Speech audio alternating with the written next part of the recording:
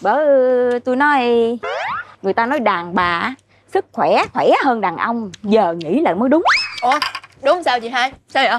Thì đó Đàn bà thì làm việc quần quật nè Đi chợ về không có kịp thay bộ đồ nữa là đã sắn quần sắn áo lên lo lau nhà rồi.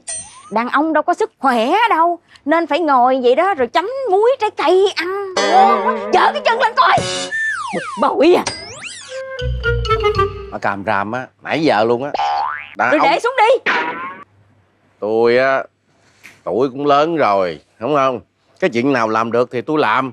Còn cái chuyện nào làm không được thì tôi nhờ mấy đứa nhỏ nó làm.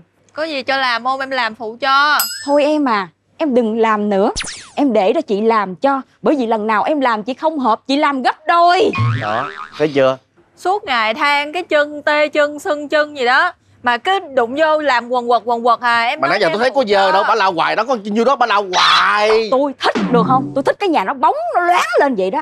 Nhưng mà mình á lớn rồi đó có tuổi rồi đó cẩn thận á. Tôi nói cho ông biết nha Dù cho lâu lâu cái khớp chân tôi nó đau nó sưng Tôi vậy chứ mà sức tôi còn khỏe hơn Hơn nó nữa đó rồi bà đi đâu vậy? Tôi đi đâu kể tôi? Biết nút gì đâu mà mạng nhện nó văng đầy lên trong đó à. Nhà làm như không có đàn ông vậy đó. Một mình tôi quét Một mình tôi lao Một mình tôi tôi dọn vậy đó. Bà nói thiệt nói quan tôi không? Thôi được rồi để đi. Tôi lên tôi quét cho. Được rồi để tôi tự bắt cái ghế này là Tôi leo lên Tôi quét màn nhện trong vừa cái lòng của ông. Khổ ghê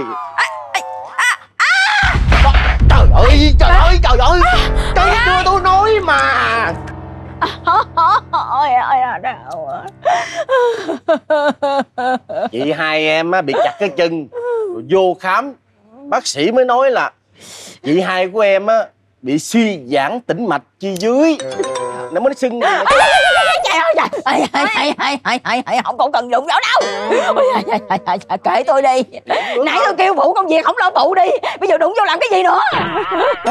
Đúng không? Không uống Những mâu thuẫn, những rắc rối cần tìm ra lời giải đáp. Hãy để các chuyên gia gỡ rối. Xin kính chào quý khán giả của chương trình Vitamin Hạnh Phúc. Khi mà đi khám bệnh mà chúng ta có mấy triệu chứng như là đau, tức chân, sưng nặng mỏi chân, khi mình à, được chẩn đoán là à, giãn tĩnh mạch chi dưới thì thực ra cái từ à, chuyên môn mà mình chính xác đó là suy van tĩnh mạch chi dưới, gọi là suy van tĩnh mạch sâu. Thì hệ thống mạch máu ở chân sẽ có hai hệ thống, một là hệ thống động mạch sẽ đưa máu từ tim đến các cơ quan bên ngoài. Hệ thống nữa đó là hệ thống tĩnh mạch sẽ đưa máu từ ngoại biên trở về tim. Thì nó sẽ đưa máu ngược chiều từ dưới ở dưới phần phần thấp đưa lên phần cao cơ thể. Cho nên lúc nào nó cũng sẽ bị một cái, áp lực của trọng lực trên đất.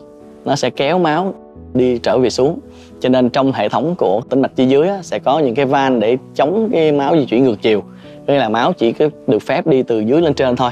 Chống máu trào ngược trở về xuống.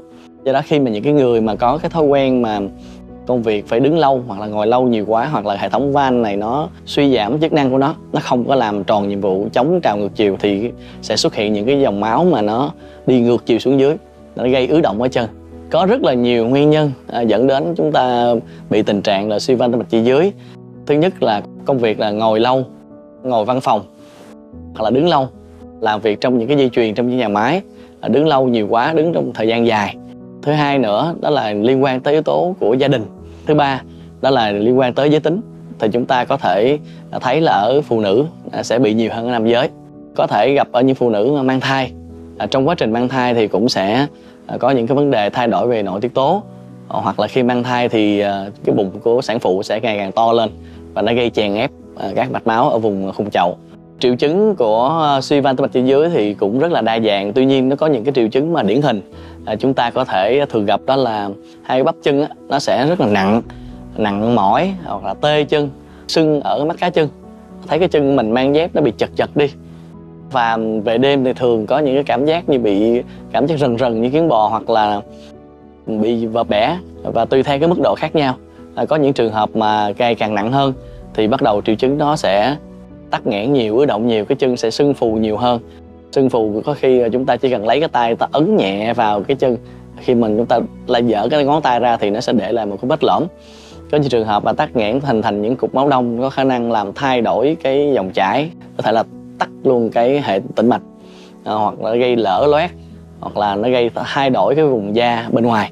À, người ta gọi là những cái vết chàm da do cái, cái suy giãn tĩnh mạch. Xin cảm ơn sự chú ý theo dõi của quý khán giả xin hẹn gặp lại ở những số phát sóng tiếp theo của vitamin hạnh phúc ạ.